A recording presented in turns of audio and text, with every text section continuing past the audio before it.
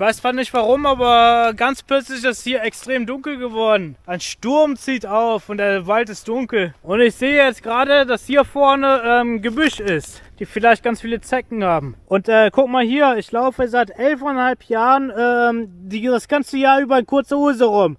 Egal wie warm oder kalt es ist. Ich laufe immer in kurzer Hose rum. Und das heißt, prüfen, wie viele Spuren meine Beine bekommen, nachdem ich diese Tour hier durchgelaufen habe. Das hat hier bestimmt ganz viele Zecken und sowas. Also das heißt, ich muss hier jetzt mit meinem nackten Bein durchlaufen. Das ist ganz wichtig. Jawohl. Das wird richtig geil sein. Hier vorne ist ein Baumstamm. Der ist im Weg. Ich muss hier rüber klettern.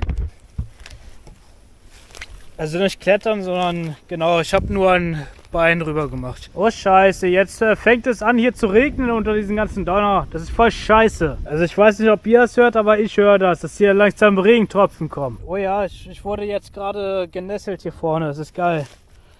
Wir prüfen, wie viele Brennnessel und sowas kommen. Und äh, hier vorne ist ganz viel diese Scheiße. Diese Stacheln müssen weg.